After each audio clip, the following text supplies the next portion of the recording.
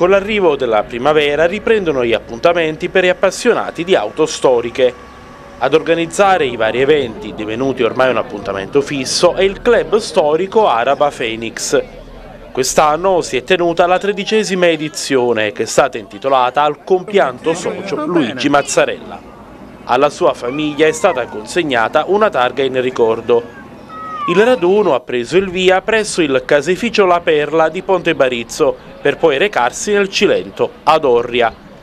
La tappa nel paese dei Murales, presso la frazione di Piano Vetrale, è obbligatoria anche per il valore storico ed artistico del centro cilentano. La tredicesima edizione della manifestazione Cilente e dintorni, quest'anno dedicata al nostro socio, compianto socio Luigi Mazzarella che ci ha lasciato lo scorso anno. Qua c'è la sua famiglia eh, e la sua macchina che avete visto prima, la 127 Berlina del 73 e eh, daremo un attestato di stima e di ricordo alla signora Fuscotina e ai figli del compianto mm, De Luigi. Scusate mm, diciamo, l'emozione ma eh, l'anno scorso è venuto meno nello stesso giorno in cui dovevamo fare il raduno 60 macchine iscritte qualcuna ospite della manifestazione, abbiamo molte macchine che provengono dalla provincia di Salerno, alcune dalla provincia di Napoli e dalla provincia di Avellino.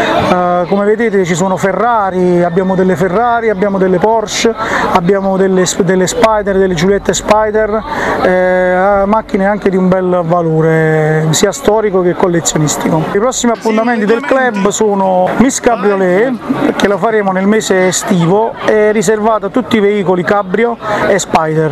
Accogliamo tutti quelli che vogliono divertirsi con noi e fare una bella passeggiata con gli Spider e le Cabrio nella zona del mare. Una macchina d'epoca può costare anche 500 euro ma anche 500.000 euro o anche un milione di euro.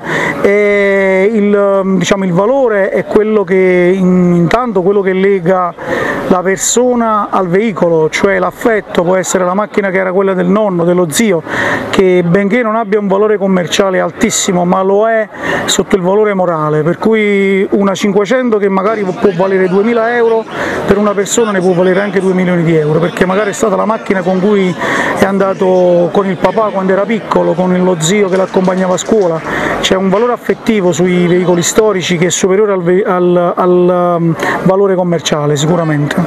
La gestione, la gestione sono macchine che sicuramente non hanno uh, le stesse caratteristiche delle macchine di oggi, per cui tendono chiaramente ad avere i classici acciacchi di vecchiaia, insomma, no? possibilità di bloccarsi con i freni, la pompetta C che magari non funziona e tante altre piccolezze, per cui bisogna starle un po' dietro, un po' come le nostre vecchiette che vanno accudite.